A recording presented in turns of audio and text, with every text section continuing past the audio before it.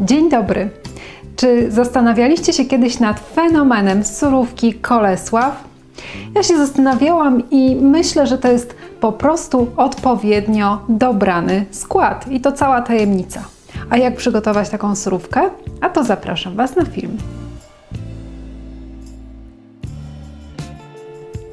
Oczywiście zaczynam od składników. Jak widzicie mam tutaj dwie kapusty, to jest kapusta stara, no i młoda. Jak się pewnie domyślacie, surówkę można przygotować e, i z jednej, i z drugiej, natomiast jak się tylko pojawia taka młoda kapusta, to ja zawsze ją wykorzystuję do przygotowania e, kolesława.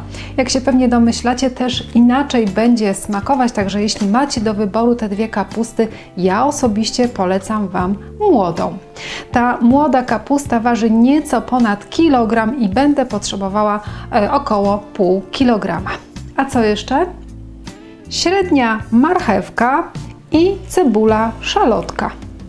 Do tej surówki ja zawsze wybieram szalotkę. Jednak szalotkę dlatego, że ona jest bardziej delikatna w smaku i nie dominuje tak w całej surówce. Natomiast jeśli lubicie ten ostry i charakterystyczny smak zwykłej cebuli, możecie dodać po prostu zwykłą cebulę.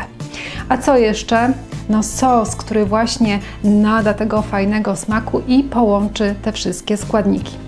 A sos przygotowuję oczywiście z majonezu. Tu jeszcze nie ma majonezu, za chwilę go zrobię. Jakbyście chcieli sami przygotować domowy majonez, bardzo Wam polecam film, w którym możecie zobaczyć, jak się go właściwie bardzo łatwo robi. Link umieszczę w opisie pod tym filmem. A co jeszcze będzie potrzebne oprócz majonezu, żeby stworzyć ten charakterystyczny dla Kolesława sos? Dwie łyżki octu jabłkowego albo trzy łyżki soku z cytryny, to co wolicie. Do tego płaską łyżeczkę soli i kopiastą łyżeczkę cukru pudru i koniecznie pieprz. Ile? No ja tak myślę, że około pół łyżeczki Kolesław potrzebuje pieprzu.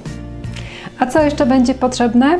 Duża miska z czymś do wymieszania wszystkich składników, deska do krojenia, duży ostry nóż, e, tarka z dużymi oczkami e, do przygotowania marchewki i coś do jej obrania. I to wszystko. Zabieram się do pracy.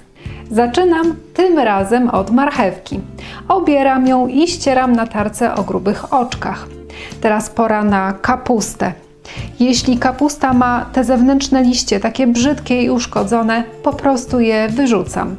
Główkę kroję na pół, a potem jeszcze na ćwiartkę. Jeśli głąb jest dosyć gruby i duży, to go wykrawam, a potem cienko szatkuję kapustę i przekładam do miski.